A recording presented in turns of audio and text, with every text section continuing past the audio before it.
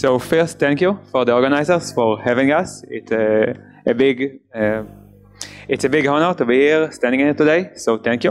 Uh, I'm Omer. This is Yshay, who's sitting there. Um, and today we want to talk about uh, dynamic security testing.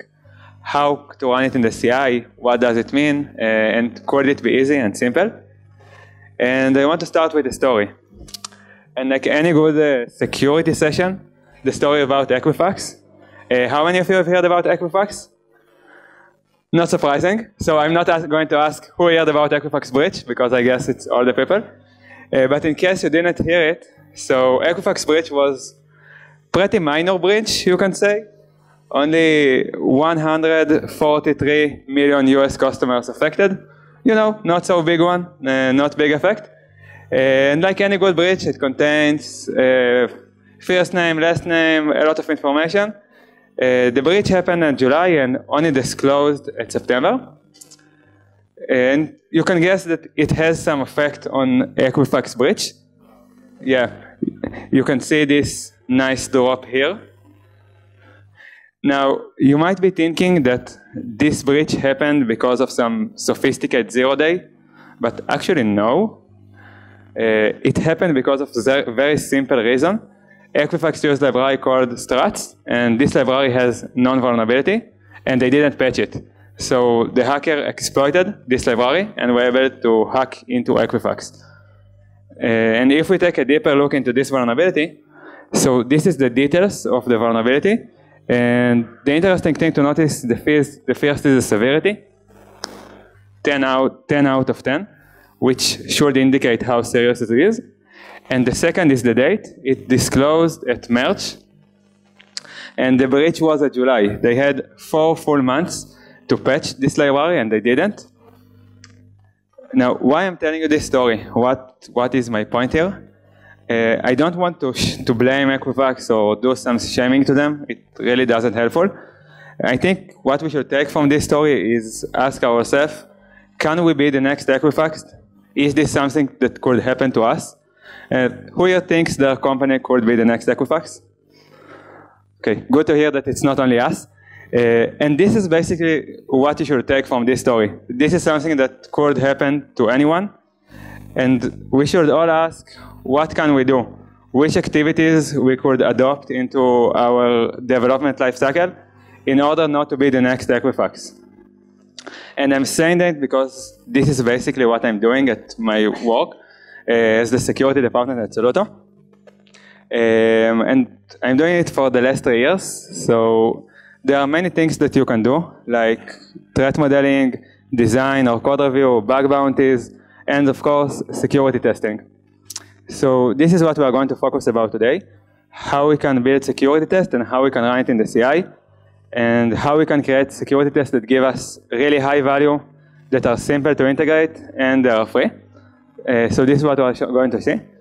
And before that, security test, if regular test like unit or integration going to check your code for bugs, so security test will uh, test your code for non-vulnerabilities. This is the high level idea. And now I want to invite Yshay to talk about one of Soluto projects, why it's so critical and how we added a security test to it. So Yshay. Great. So I'm Yshay. I'm a tech lead at Soluto, and I'm working on an infrastructure backend project, and I'm going to share how we added security tests to one of our most critical uh, uh, project, which is called uh, Tweek. Um, I'm going to describe Tweek shortly so you will have the right uh, context.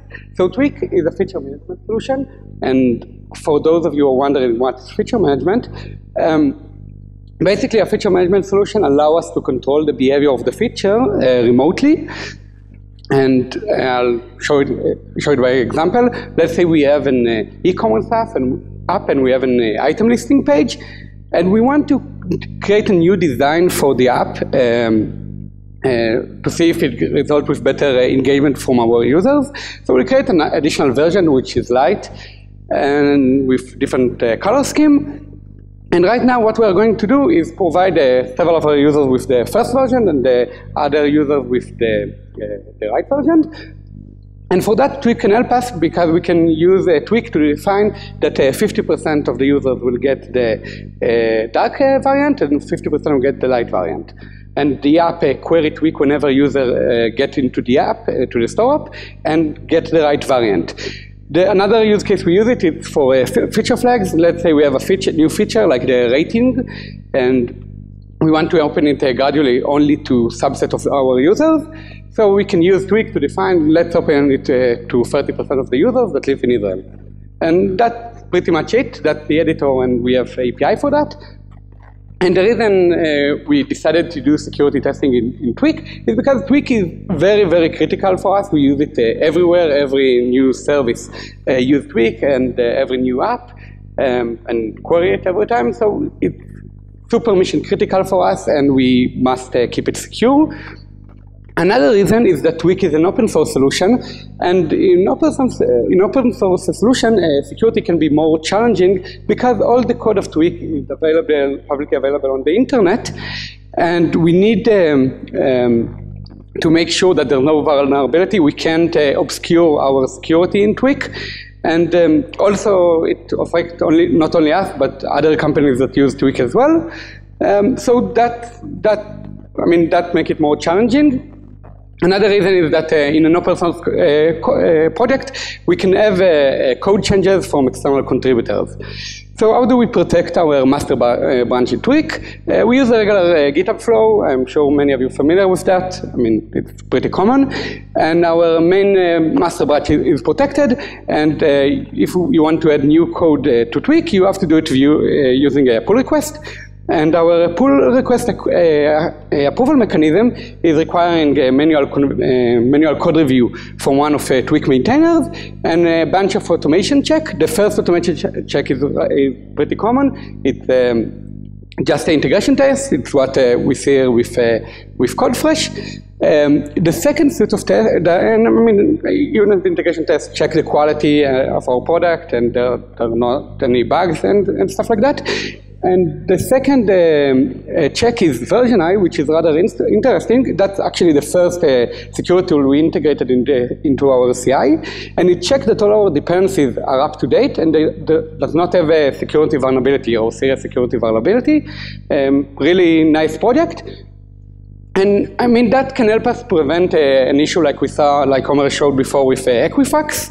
Uh, so it's really useful, but it's not enough because it's only check for third-party um, is, uh, issues in third-party packages or, uh, or libraries, but uh, it does not provide us a, security guarantee against um, the new, the actual code changes in the PR.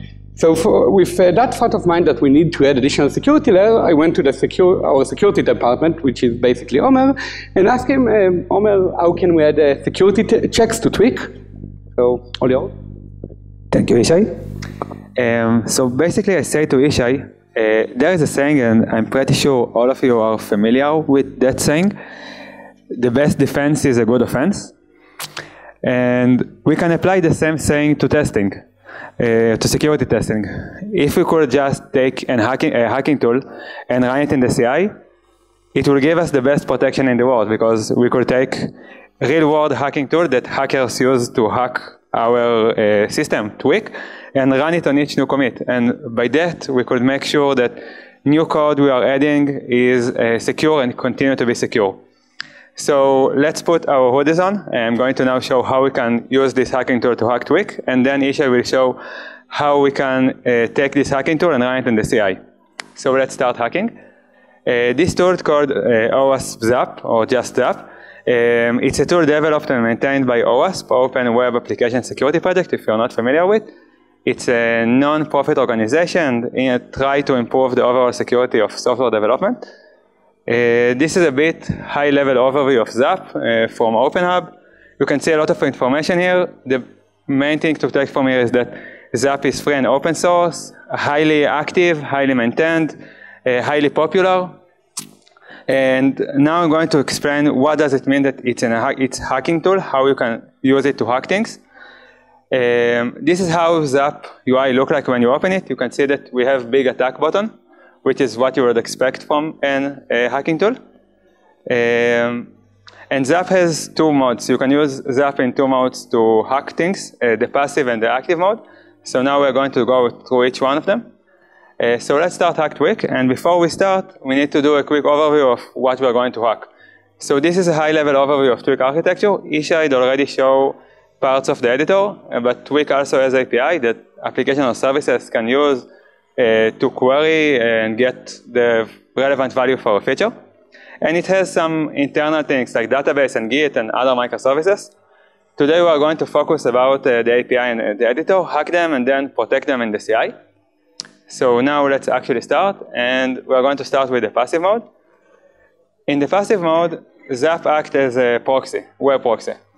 Um, web proxy is something that you put between the client and the server, for example, between your browser and your uh, uh, server serving the, the web page.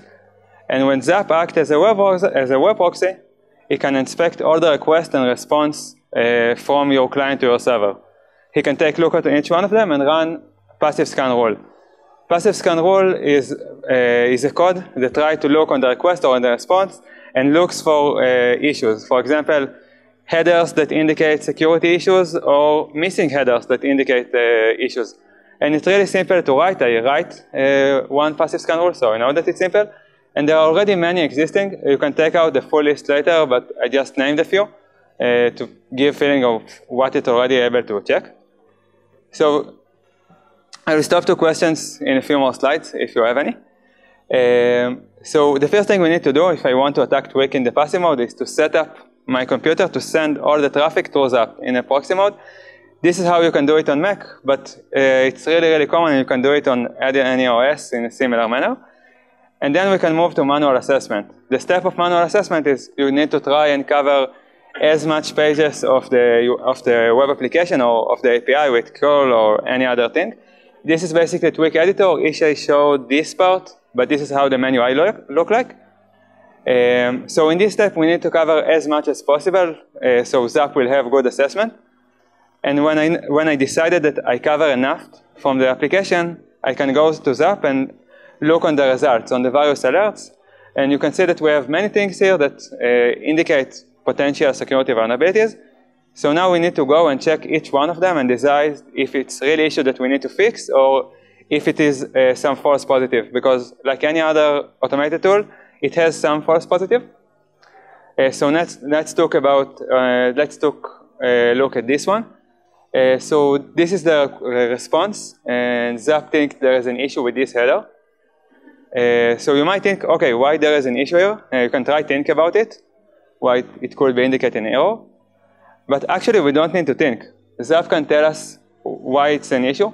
The server leaks some information through the header about the stack we're using, we have data description here. We even have a solution.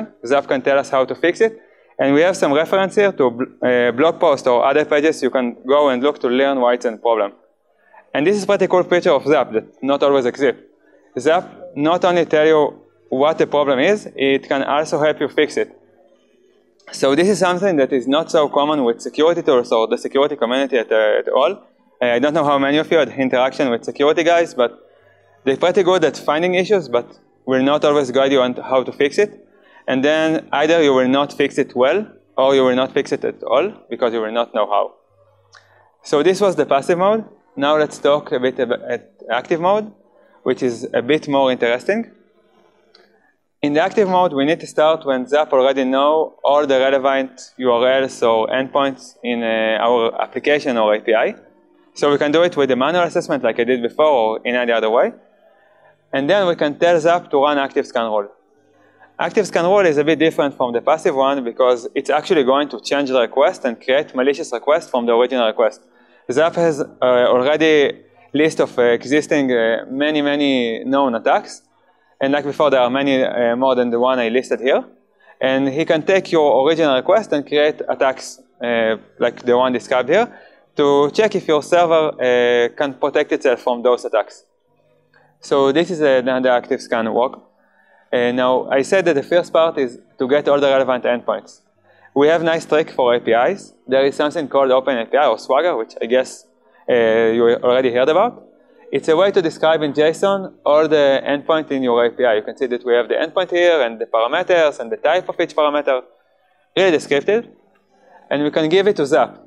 By giving it to Zap, you can see that now Zap knows all the relevant endpoint in our API and it also knows the parameters like described in the Swagger. So now we can uh, do the nice, click on the nice button uh, of uh, attack, this one here, and Zap will start attacking our API. So let's do it. Let's press this red button.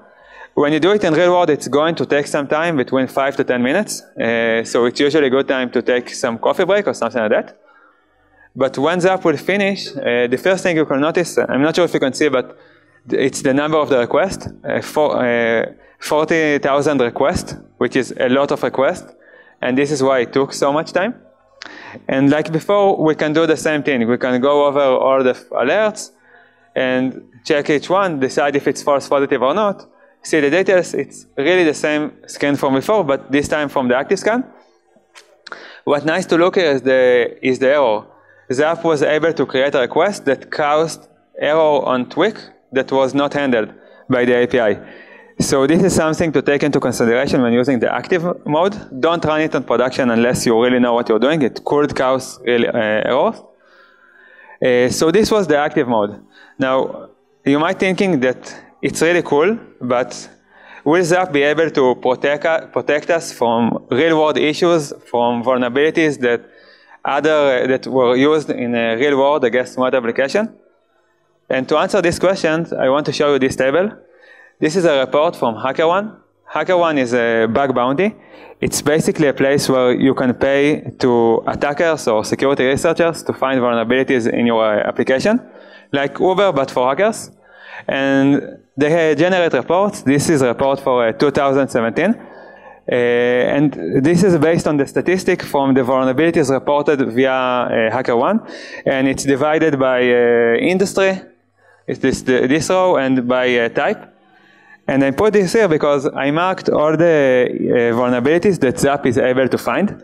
So you can see that most of the big ones uh, are detected actually by Zap. And some of the things that I didn't mark also could be detected by Zap, but it needs some more configuration. So to answer this question, yes, Zap can find real world issues that uh, other applications were hacked through. Uh, so this is was uh, how we can use Zap to hack Tweek. Any questions about the hacking? So, so Zap's running on on a dev or staging uh, deployed environment with your database and everything else also? Yeah, uh, so yes, you can, you can, usually it's better to run uh, Zap against dev or staging, not a good idea to run it on production because it might cause uh, side effects. But passive is okay to run? Yeah, uh, passive, passive doesn't do anything actively. It's a chaos monkey. do, do you use it as uh, with an API, part of your uh, CI/CD? So yes, this is the next part of how we can use it in the API. This is what Yshay is going to show just in a minute. Local software. Okay. And how do you get uh, all the time the new vulnerabilities? Um, also from the, the open source? Yeah, so all the vulnerabilities are the active or the passive scan rules. And you can contribute your own scan rules if you need something that already not covered. Uh, again, I did it, so I know it's pretty simple and it keeps getting updated. It, yeah, yeah. software. Download. Yeah, Zap is a mechanism, is an update mechanism. I can show it to it later. Last question. Do you have to run the manual? So for the active one, for the active scan you're asking. Yeah, for the active scan you need to do, to have all the URLs. You can do it either with Swagger or through the manual assessment like I did the, the passive is based on manual assessment. He look on the request you are doing and look for, uh, yeah, you can do the manual before the active. This is a, you can do that or either use the Swagger one. Okay. So now let's move to the second part, which take this hacking tool and run it in the CI. So Yshay. So Omer showed us how to act Tweek.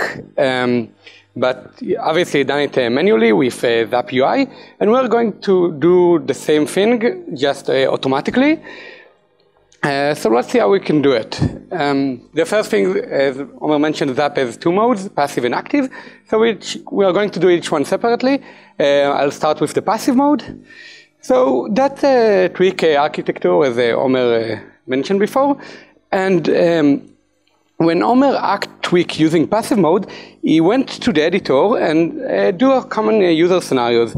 And the same go with the API, just use curl or postman or something like that. Uh, so we, the first thing we need to do is generate some traffic to proxy through Zap. Luckily for us, we're already doing it because we have um, automation test. We have a UI automation test that check our editor for all the common scenarios, assuming our coverage is good enough. And the same go for the API. We have integration tests that check that the API work uh, properly. So basically the only thing we need to do is just put a Zap in the middle as a, as a proxy between our test and the actual services. So how are we going to do this setup in our CI? So we are going to use Docker. I'm pretty sure this, this is DevOps days, so probably you heard Docker quite a lot. So Tweek is, a, is designed as a multi-container app. Um, each uh, microservice of Tweek, and there are a couple of other microservices that only available in the backend, are, uh, have official Docker image. And our CI is completely uh, Docker native. It's just run Docker there. And also our test suites are uh, Docker processes. So it's really it's really easy, and the good thing about Zap is that it has an official Docker image. So we can just use uh, the Docker image of Zap. We don't, care, we don't care if it's in, written in Java or whatever. It's just Docker. So everything is containerized, and how can we set up this? Uh, we are going to use Docker Compose. Uh, Docker Compose is a YAML format for uh, describing uh, multiple services. Um, we can use it to run Docker locally all these services, and each service corresponds to a container. And you can see that we have a, a um, service definition for the UI test and service definition for the editor.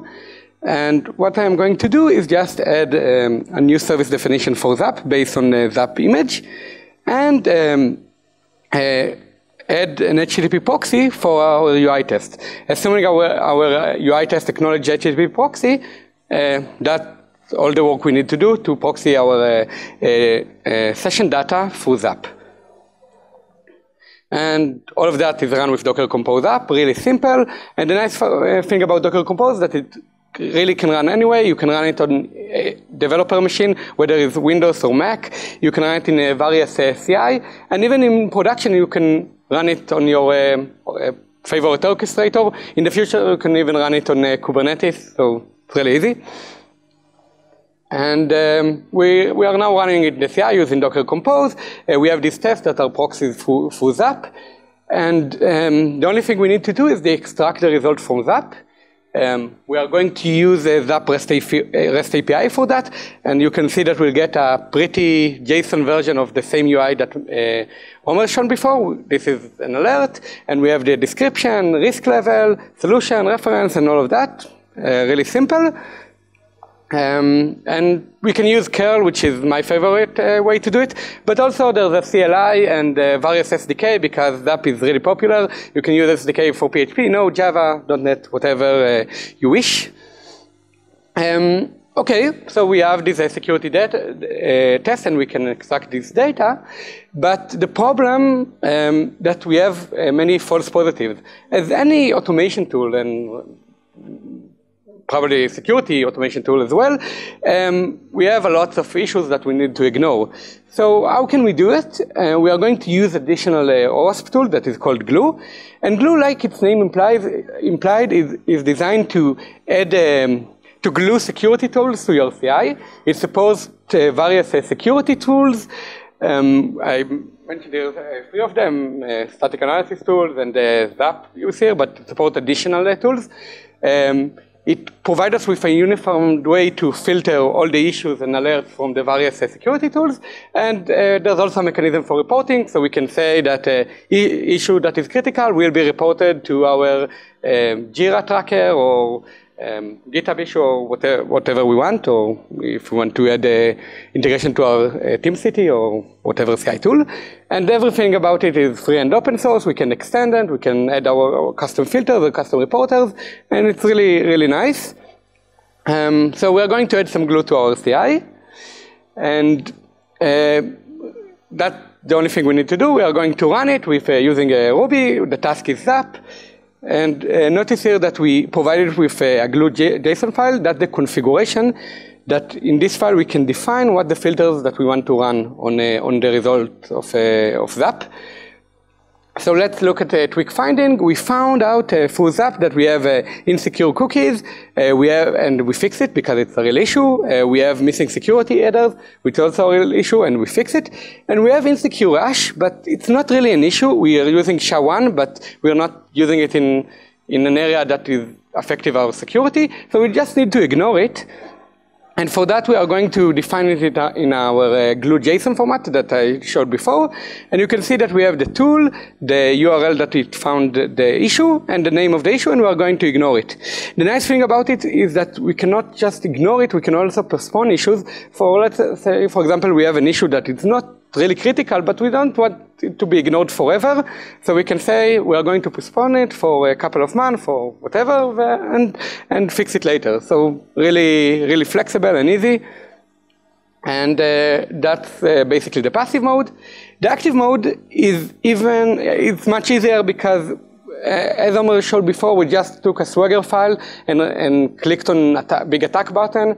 Naturally, the same click of a button we can do with a CLI.